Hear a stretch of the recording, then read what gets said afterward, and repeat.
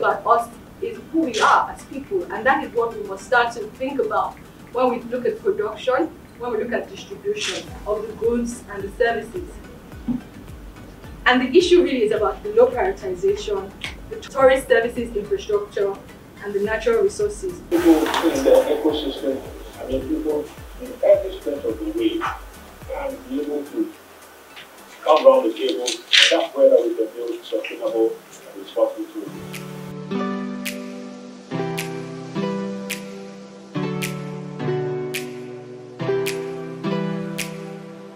have a situation where we have people from all over Lagos, Ibadan, Abuja, all over Nigeria coming throughout the year because they realize we can't travel as easily abroad as we could.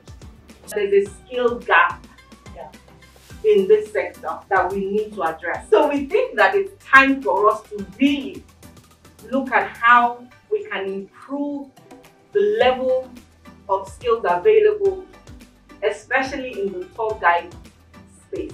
I think that the use of technology is critical to the growth of this um, of the industry at this time, especially when everybody is going online.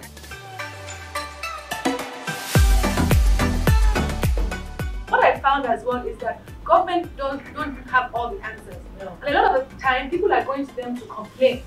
Nobody goes to them with solutions or issues. So again, it's about bringing all of these things to bear. We're going to identify the committees, we're going to identify the members, those of us that are here or online that want to join um, the lobby group. Please let us know.